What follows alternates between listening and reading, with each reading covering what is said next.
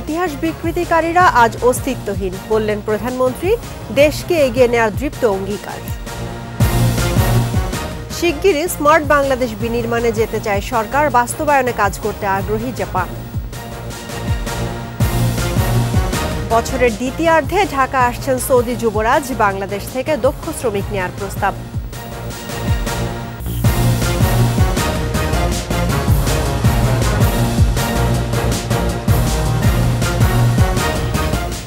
শুনছিলেন First Security Islami Bank PLC সংবাদ শিরোনাম। আমন্ত্রণ রাতের একুশের সংবাদে আপনাদের সঙ্গে আছি রাহনুমা রাহি।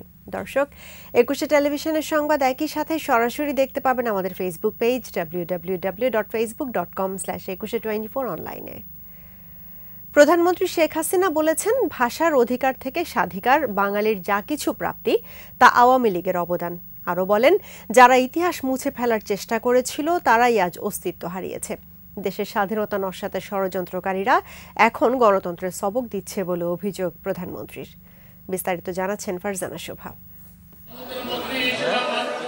মহান ভাষা দিবস ও আন্তর্জাতিক মাতৃভাষা দিবস উপলক্ষে বৃহস্পতিবার বিকেলে আওয়ামী লীগের আলোচনা সভায় যোগ দেন প্রধানমন্ত্রী শেখ হাসিনা। ভাষা আন্দোলনের পথ বেয়ে আসা মুক্তিযুদ্ধের মাধ্যমে স্বাধিকার অর্জনে বঙ্গবন্ধু ও আওয়ামী লীগের অবদান তুলে ধরেন দলের সভাপতি। আওয়ামী লীগ বা জাতির পিতা বঙ্গবন্ধু শেখ মুজিব এই বাঙালির অধিকার প্রতিষ্ঠার জন্য আজীবন যেমন সংগ্রাম করেছেন।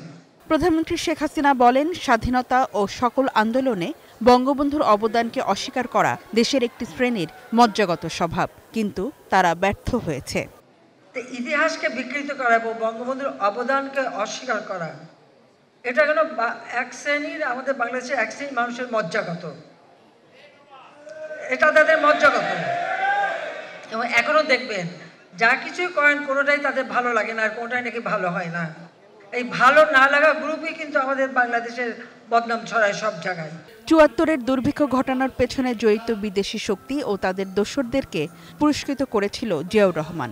অভিযোগ বঙ্গবন্ধু কন্যা বাংলাদেশের চুয়াত্তরে যে দুর্ভিক্ষ ঘটে এই দুর্ভিক্ষ ঘটানোর পিছনে কিন্তু আন্তর্জাতিক চক্রান্তের সাথে সাথে এই ভিতরে অভ্যন্তরীণ এদেরও চক্রান্ত ছিল। নগদ টাকা দিয়ে কেনা খাদ্য জাহাজকে সরিয়ে দেওয়া হয়েছিল।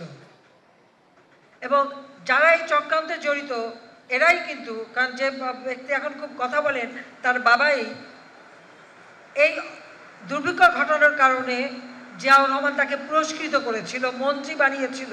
আর তাদের কাছে এখন গণতন্ত্রের সবক শুনতে হয়। তাদের কাছে বড় বড় কথা শুনতে হয়। কিন্তু ওদের অপকর্মগুলি তো আমাদের জানা আছে। জনগণের কল্যাণে আদর্শ নিয়ে চলা আওয়ামী লীগকে এত সহজে হঠানো যাবে না বলেও মন্তব্য করেন শেখ হাসিনা। এখন তারা আমাদের আন্দোলন করে ক্ষমতার থেকে সরাবে। ঠিক আছে ইলেকশন আগে ইলেকশন করতে দেবে না আমরা ইলেকশন করে এসেছি। এবং বাংলাদেশের ইলেকশন পঁচাত্তর সালের পর থেকে যে কটা ইলেকশন হয়েছে তার মধ্যে যদি কোনো সুষ্ঠু অবাধ, নিরপেক্ষ নির্বাচন হয়ে থাকে, তো সেটা সাতই জানুয়ারি। এখন আবার শুনি তাদের বড় বড় কথা। আন্দোলন করে সরকার হটিয়ে দেবে। আওয়ামী লীগ মানুষের জন্য কাজ করে বলেই মানুষের আস্থা, ভালোবাসা এবং বিশ্বাস অর্জন করেছে। আর যার ফলে বারবার তারা আমাদের ভোট দিয়ে নির্বাচিত করেছে। বাংলাদেশকে আর কেউ পিছনে নিয়ে যেতে পারবে না। সেই প্রস্তুতি নিয়েই এগিয়ে যাওয়ার দৃপ্ত অঙ্গীকার বঙ্গবন্ধু কন্যার। ফারজানা শোভা, একুশে টেলিভিশন, ঢাকা। ভারত মহাসাগর বলয়ের প্রতিটি প্রতিবেশী দেশের সঙ্গে সুসম্পর্ক অব্যাহত রাখতে শান্তিপূর্ণ বাণিজ্য পথ সচল রাখার আহ্বান জানিয়েছেন প্রধানমন্ত্রী শেখ হাসিনা। দেশের সমৃদ্ধি অর্জনে সমুদ্র সম্পদ কাজে লাগানোর তাগিদ দেন সরকার প্রধান। আকবর হোসেন সুমনের রিপোর্ট। পঞ্চাশ বছর আগে সমুদ্র দেশের সমুদ্র অঞ্চলের সার্বভৌমত্ব প্রতিষ্ঠা বহির্বিশ্বের সঙ্গে নিরবচ্ছিন্ন বাণিজ্যিক যোগাযোগ স্থাপন এবং সমুদ্র ভিত্তিক অর্থনীতির অগ্রগতি বিবেচনায় উনিশশো চুয়াত্তর সালে territorial waters and maritimes zone act বা আঞ্চলিক পানি বন্টনে সমুদ্র সীমা আইন প্রণয়ন করেছিলেন জাতির পিতা বঙ্গবন্ধু শেখ মুজিবুর রহমান। মাধ্যমে। প্রতিবেশী দেশগুলোর সঙ্গে শান্তিপূর্ণ উপায়ে সমুদ্র সীমা নির্ধারণের মাধ্যমে পারস্পরিক সুসম্পর্কের ধারাবাহিকতা গড়িয়েছে পঞ্চাশ বছরে। বঙ্গবন্ধু আন্তর্জাতিক সম্মেলন কেন্দ্রে সুবর্ণ জয়ন্তীর এই মাহেন্দ্র খন উদযাপন করেছে বাংলাদেশ নৌবাহিনী, যে আয়োজনের মধ্যমণি খোদ বঙ্গবন্ধু কন্যা প্রধানমন্ত্রী শেখ হাসিনা। বঙ্গবন্ধু প্রণীত আইন স্বাধীন বদ্বীপের পানির ন্যায্য হিস্সা এবং সমুদ্র সীমানা নির্ধারণের পথ দেখিয়েছে। প্রধানমন্ত্রী তার বক্তব্যে তুলে ধরেন সেই অর্জন। আওয়ামী লীগ সরকার অক্লান্ত প্রচেষ্টার মাধ্যমে সমুদ্র বিজয়ের করে এবং আমরা যে বিশাল সমুদ্র সীমা অর্জন করেছি একছত্র বা অধিকার আমাদের আজকে রয়েছে, আমরা এই যে সম্ভাবনাময় সুবিশাল একটা অর্থনৈতিক এলাকা পেলাম, যা আমাদের দেশের অর্থনীতিতে অনেক অবদান রাখতে পারবে। ভারত মহাসাগর কেন্দ্রিক প্রতিটি দেশের সঙ্গে সুসম্পর্ক বজায় রাখতে বাণিজ্য পথ চলমান রাখার আহ্বান জানান প্রধানমন্ত্রী। ভারত মহাসাগরেরই ভিতরে অবস্থিত আমাদের বঙ্গোপসাগর। এই সামুদ্রিক পথে আমাদের সকল দেশ কিন্তু সমানভাবে ব্যবহার করছে এবং আন্তর্জাতিক বাণিজ্যও চলছে। আমাদের এই অঞ্চলে যে ব্যবসা বাণিজ্যটা চলে সেটা যেন কোনো সংঘাতপূর্ণ না হয় কোনো দ্বন্দ্ব সৃষ্টি না হয় এটা যেভাবে একটা শান্তিপূর্ণ একটা বাণিজ্য পথ সেই শান্তিপূর্ণ বাণিজ্য পথ হিসেবেই চলমান থাকবে। সম্ভাবনাময় সমুদ্র সম্পদ আহরণ এবং নিরাপত্তায় সংশ্লিষ্টদের নির্দেশ দেন সরকার প্রধান। আমাদের অঞ্চল যেটুকু আমরা অর্জন করেছি সেখানে সমুদ্র সম্পদ যেটা সেটা আমাদের আহরণ করা এবং আমাদের অর্থনীতিতে অর্থাৎ যে ব্লু ইকোনমি আমরা ঘোষণা দিয়েছি সেখানে তা অত্যন্ত কার্যকর হবে বলে আমি বিশ্বাস করি। উপকূল উন্নয়নে কাজ চলছে উল্লেখ করে বঙ্গবন্ধু কন্যা আশ্বাস দেন শীঘ্রই আলোর মুখ দেখবে গভীর সমুদ্র বান্দর। পায়রাপুর থেকে সমুদ্র কিন্তু খুব বেশি দূরে না। আকবর হোসেন সুমন একুশে টেলিভিশন ঢাকা।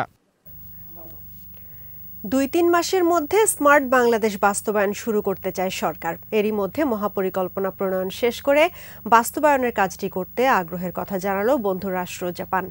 তথ্য প্রযুক্তি প্রতিমন্ত্রী জুনায়দ আহমেদ পলকের সঙ্গে দেশটির রাষ্ট্রদূতের বৈঠকের পর গণমাধ্যমকে এসব কথা জানানো হয়। রিপোর্টে বাকিটা জানাচ্ছেন মোহাম্মদ দুরনবী আমরা বাংলাদেশকে উন্নত সমৃদ্ধ বাংলাদেশ করব। আর সেই বাংলাদেশ হবে স্মার্ট বাংলাদেশ। ডিজিটাল বাংলাদেশ গঠনের সফলতার পর এবার স্মার্ট বাংলাদেশ। ব্যবহার করে প্রযুক্তি নির্ভর জ্ঞান বিজ্ঞানে সমৃদ্ধ শিক্ষিত প্রশিক্ষিত নাগরিকদের দিয়ে একটি প্রযুক্তি সমৃদ্ধ স্মার্ট বাংলাদেশের নির্বাচনী প্রতিশ্রুতি বর্তমান সরকারের সরকার গঠনের পর এবার অঙ্গীকার বাস্তবায়নের পালা। যেখানে নাগরিকদের বিশেষ করে এরই মধ্যে এই মহাপরিকল্পনা প্রণয়নের কাজও শেষ করে এনেছে বন্ধুরাষ্ট্র জাপান। দেশটির রাষ্ট্রদূত ইয়াওমা কিওমেরির সাথে বৈঠকের পর সেসব কথাই জানানো হলো। একচল্লিশ সালে মাননীয় প্রধানমন্ত্রী শেখ হাসিনার স্মার্ট বাংলাদেশ বিনির্মাণে বাংলাদেশ জাপান একসাথে আমরা কাজ করে যাব। আমরা আগামী এক দুই মাসের মধ্যে আমাদের স্মার্ট বাংলাদেশ মাস্টার প্ল্যানটা চূড়ান্তভাবে আমরা উদ্বোধন করতে পারব, উন্মোচন করতে পারব। প্রধানমন্ত্রী শেখ হাসিনার জাপান সফরে বিষয়টি নিয়ে একটি সমঝোতা চুক্তি রয়েছে জাপান বাংলাদেশের। দেশটির বিনিয়োগ, বাণিজ্য ও জ্ঞানকে স্মার্ট বাংলাদেশ বিনির্মাণে টানতে চায় বাংলাদেশ। জাপান যেহেতু প্রযুক্তিগতভাবে এবং অর্থনৈতিকভাবে আমাদের থেকে অনেক এগিয়ে আছে, এ ব্যাপারে কোনো সন্দেহ নাই কারোই সেই ক্ষেত্রে আমরা জাপানের বিনিয়োগ এবং তাদের যে নলেজ সেটা কোথায় কোথায় কাজে লাগাতে পারি এবং একটা বেঞ্চ মার্ক ঠিক করা যে আসলে আমরা স্মার্ট সিটিজেনের কি বেঞ্চ মার্ক থাকবে পেপারলেস গভর্নমেন্টের কি বেঞ্চ মার্ক থাকবে। বা স্মার্ট সোসাইটির কি বেঞ্চমার্ক থাকবে? এগুলো আমরা জাপানের সহযোগিতাটা নেব। জাপানে বিনিয়োগকারীরা এদেশে বিনিয়োগে মুখিয়ে আছে। স্মার্ট বাংলাদেশ গড়ার এই মহাপরিকল্পনা বাস্তবায়ন করতে পারলে জাপানিরা সৌভাগ্য মনে করবে বলে মত রাষ্ট্রদূতের। Uh, uh, uh, uh the, the, the government and the society of Bangladesh move forward for uh, the realization of the Future. এছাড়া দেশের তথ্য প্রযুক্তি রফতানির এখন বড় ঠিকানা হয়ে উঠেছে জাপান। সাইবার সিকিউরিটি নিশ্চিত করতে প্রযুক্তিগত সহায়তা দিতে সম্মত হয়েছে পরীক্ষিত বন্ধু রাষ্ট্রটি। সেগুলো যাতে বাংলাদেশের সরকার ব্যবস্থা আমরা নিয়ে আসতে পারি। জাপানের যে ক্যাশলেস সোসাইটি বা অর্থনৈতিক কার্যক্রম যতটা স্বচ্ছতা জবাবদিহিতার সাথে স্বয়ংক্রিয় পদ্ধতিতে করা হচ্ছে সেই বেঞ্চমার্কটা যাতে আমরা অর্জন করতে পারি। মোহাম্মদ নুর নবী একুশে টেলিভিশন ঢাকা। চলতি বছরের দ্বিতীয়ার্ধে বাংলাদেশ সফরে আসছেন সৌদি যুবরাজ মোহাম্মদ বিন সালমান। পররাষ্ট্রমন্ত্রীর সাথে সৌদি রাষ্ট্রদূতের বৈঠকে শিল্প কলকারখানা স্থাপনে চট্টগ্রাম মিরেরসরাই ইকোনমিক জোনে আরও তিনশো একর জমি বরাদ্দে প্রস্তাব দিয়েছে দেশটি। এছাড়া সৌদি গ্রিন ইনিশিয়েটিভের আওতায় বাংলাদেশ থেকে বনায়ন শ্রমিক নেবার প্রস্তাবও রয়েছে সৌদি আরবের। মোহাম্মদ নুরুন নবীর আরও একটি রিপোর্ট। পররাষ্ট্রমন্ত্রী ডক্টর হাসান মাহমুদের সাথে সৌজন্য সাক্ষাৎ করেন অস্ট্রেলিয়ার রাষ্ট্রদূত নাদিরা সিমসন, মিশরের রাষ্ট্রদূত ওমর এলাহি আহমেদ ফামি এবং সৌদি রাষ্ট্রদূত ইসা বিন ইউসেফ আল দুলাইহান। তিনটি বৈঠকেই গাজায় মানবিক বিপর্যয় ঠেকাতে চিকিৎসা, সেবা ও বিপন্ন মানুষের কাছে খাদ্য পৌঁছে দেয়া এবং রাখাইন পরিস্থিতি নিয়ে আলাপ হয়েছে। বাস্তুচ্যুত রোহিঙ্গাদের প্রত্যাবাসনের কৌশল নিয়েও কথা হয়েছে। পররাষ্ট্রমন্ত্রী জানালেন, পতেঙ্গা টার্মিনাল পরিচালনার দায়িত্ব নিতে চায় সৌদি আরব। এছাড়া সবুজ জ্বালানি খাত, বিশেষ করে ফ্লোটিং সোলার প্যানেলে বিনিয়োগ করতে চায় দেশটি। সৌদি আরবকে তিনশো একর জমি মেরেশ্বরাই ইকোনমিক জোনে দেওয়ার প্রতিশ্রুতি দেওয়া হয়েছে।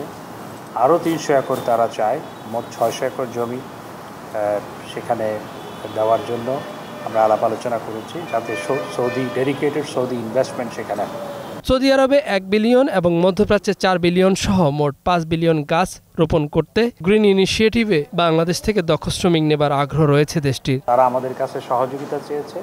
আমরা বলেছি, আমরা সহযোগিতা করার জন্য we would love to help you because আমাদের এগ্রিকালচারিস্টরা অত্যন্ত ভালো। এনার্জি সেক্টরে অলরেডি সৌদি আরব ইনভেস্ট করতে যাচ্ছে।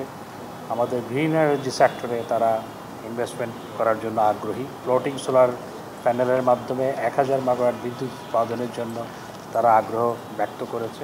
সংবাদ সম্মেলনে সৌদি যুবরাজের বাংলাদেশ সফরের বিষয়টি নিশ্চিত করেন পররাষ্ট্রমন্ত্রী। মোহাম্মদ বিন সালমান তার সম্ভাব্য সফর নিয়ে আলোচনা হয়েছে তাকে আমন্ত্রণ জানানো হয়েছে তিনি সেই আমন্ত্রণ গ্রহণ করেছেন। তো আমরা এবছরের সেকেন্ড হাফে তার সফর কীভাবে সেটি হতে পারে সে নিয়ে আমরা আলোচনা করেছি। বাইডেনের চিঠির পর মার্কিন উপসহকারী পররাষ্ট্রমন্ত্রী আফরিন আক্তারের চব্বিশে ফেব্রুয়ারি বাংলাদেশ সফর দুই দেশের সম্পর্ককে অনন্য উচ্চতায় নিয়ে যাবে বলেও মন্তব্য করেন পররাষ্ট্রমন্ত্রী। মার্কিন কর্মকর্তাদের সফর আমাদের সম্পর্ককে আরও গভীর বিস্তৃত করার ক্ষেত্রে ভূমিকা রাখবে। মোহাম্মদ নুরুন নবী একুশে টেলিভিশন ঢাকা। নিচ্ছি সংবাদ বিরতি। যখন ফিরছি, তখন অন্যান্য খবরের সঙ্গে আরও থাকবে।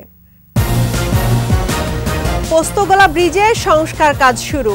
পাঁচ দিন বন্ধ থাকবে যান চলাচল। আবারও আমন্ত্রণ রাতের একুশে সংবাদ। জাতির পিতা বঙ্গবন্ধু শেখ মুজিবুর রহমান জাতীয় মহাসড়কের পোস্তগোলা সেতুর দুটি গার্ডারের সংস্কার কাজ শুরু হয়েছে। চলবে আট মার্চ পর্যন্ত। এতে হালকা যান চলাচল করলেও পাঁচ দিন বন্ধ থাকবে সব ধরনের যানবাহন। এ সময় ঢাকা সহ দেশের একুশ জেলায় যাতায়াতে বাড়তি যানজটের আশঙ্কায় বিকল্প সড়ক ব্যবহারের পরামর্শ দিয়েছে সড়ক বিভাগ। রাসেল খানের রিপোর্ট। দুই হাজার বিশ সালে বুড়িগঙ্গা সেতুর উপর নির্মিত পোস্তগলা সেতুর গার্ডারের সাথে ধাক্কা লাগে উদ্ধারকারী জাহাজের। এতে ব্যাপক ক্ষতিগ্রস্ত হয় সেতুটি। এ করে দীর্ঘদিন ধরেই ঝুঁকিপূর্ণ অবস্থাতেই এই সেতু দিয়ে দক্ষিণের একুশ জেলার যানবাহন চলাচল করছে। তবে শুরু হয়েছে সেতুটির সংস্কারের কাজ। বাংলাদেশ চীনমৈত্রী সেতু সংস্কারের কাজের অংশ হিসেবে গার্ডার মেরামতও করা হবে। এতে আট মার্চ পর্যন্ত সীমিত আকারে চলবে যানবাহন। তবে বন্ধ রয়েছে সব ধরনের ভারী যানবাহন চলাচল। আর ঝুঁকিপূর্ণ এই সেতুটি সংস্কারের কাজ করছে একটি বেসরকারি ইঞ্জিনিয়ারিং প্রতিষ্ঠান। সংশ্লিষ্টরা বলছেন, দেশের দক্ষিণে যোগাযোগ স্বাভাবিক রাখতে যথাসময়ে সংস্কারের কাজ শেষ হবে। বাইশ ফেব্রুয়ারি চব্বিশ থেকে আট মাস দু হাজার চব্বিশের মধ্যে এই দুটা গার্ডারের রেট্রোফিটিংয়ের কাজের শিডিউল ফিক্সড করি এবং অফিসিয়ালি আজকে বাইশ তারিখ থেকে আমাদের কাজ শুরু হয়েছে এবং গতকাল রাত্রে বারোটা থেকে আমরা এই বুড়িগঙ্গা ব্রিজ দিয়ে হেভি ভেহিকেল অর্থাৎ লোড গাড়ি সবগুলা রেস্ট্রিক্টেড করেছি। হালকা যানবাহনের তালিকায় আছে বাস মাইক্রোবাস সিএনজি অটোরিকশা এসব যানবাহনও চব্বিশ ছাব্বিশ ফেব্রুয়ারি ও এক, চার ও আট মার্চ বিকল্প সড়ক ব্যবহার করবে। গার্ডার দুটি আবার মাইক্রো কংক্রিট ইঞ্জেকশনের মাধ্যমে আবার রিস্টোর করা হবে। পদ্মা সেতু হতে নারায়ণগঞ্জ চট্টগ্রামমুখী যানবাহন, শ্রীনগর, মুন্সীগঞ্জ মুক্তারপুর সেতু তৃতীয় শীতলক্ষা সেতু, মদনপুর সড়ক ব্যবহার করতে পারবে। সিলেট, চট্টগ্রাম হতে পদ্মা সেতুগামী যানবাহন, মদনপুর হতে তৃতীয় সেতুরক্ষা সেতু, মুক্তারপুর সেতু, মুন্সীগঞ্জ, শ্রীনগর সড়ক ব্যবহার করতে পারবে।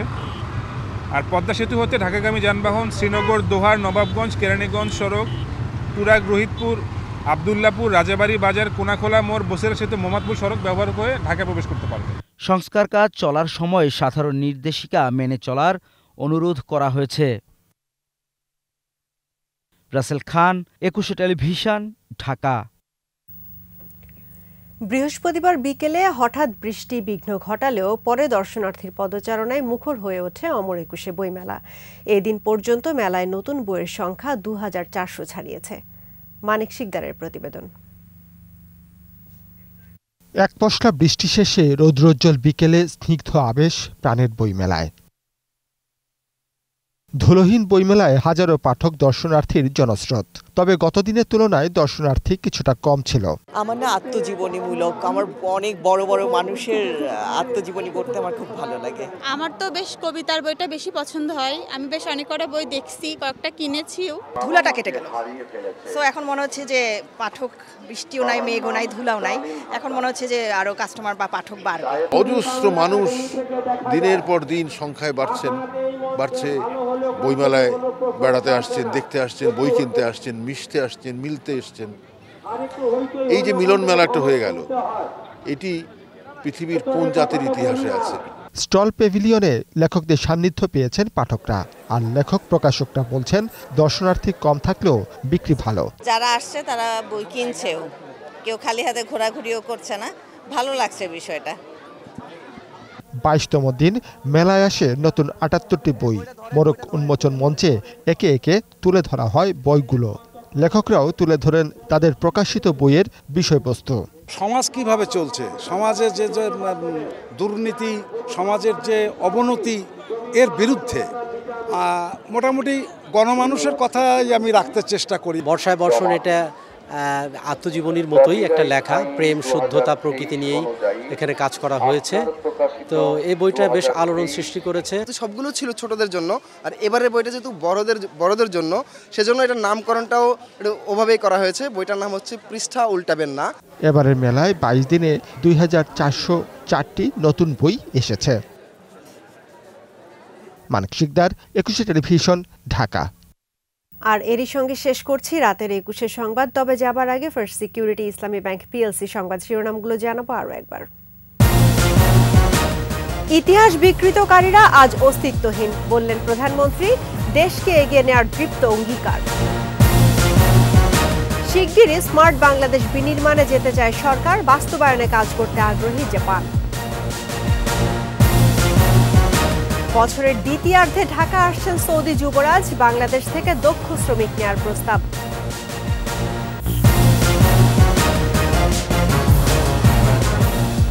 দর্শক, একুশের সর্বশেষ খবর জানতে ডায়াল করুন টু জিরো টু ওয়ান নম্বরে আর ভিজিট করুন একুশে ড্যাশ টিভি ডট কম ওয়েবসাইটে। এছাড়া ফেসবুকে ভিজিট করতে পারেন Facebook dot com slash Ekushey twenty four অনলাইনে একুশের খবর দেখুন, একুশের সঙ্গেই থাকুন। স্বাস্থ্যবিধি মেনে চলুন, সুস্থ থাকুন।